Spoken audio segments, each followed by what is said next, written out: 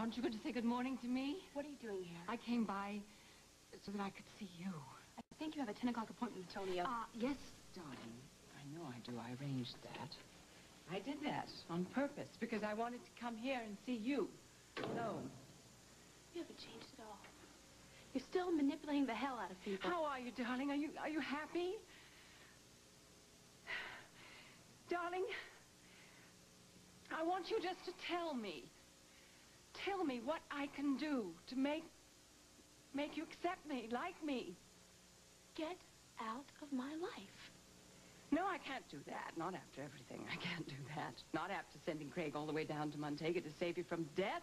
Not after taking you into my house. Exactly. Something I wish you had never, ever done. Sierra Esteban Reyes, you are my first daughter.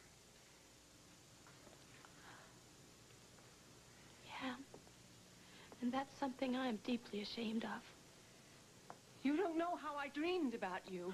I never imagined in the worst nightmare that I ever had that things would be the way that... Darling, you're a married woman now, married lady. You know why I did it. You understand now. You've got to know it was the best thing for you and the best thing for everything.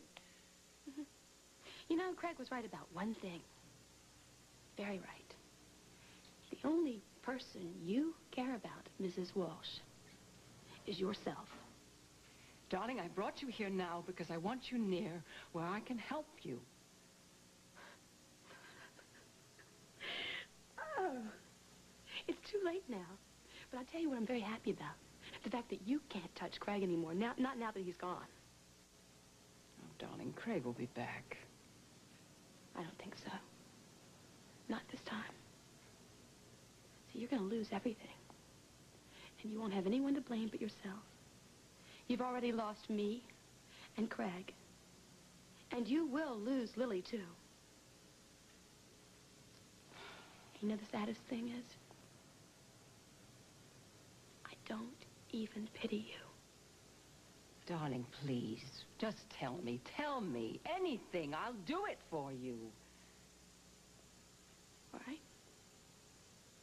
Tell me why you made up all those lies. Tell me why you didn't tell me the truth when you first brought me here. Tell me that. Can you tell me?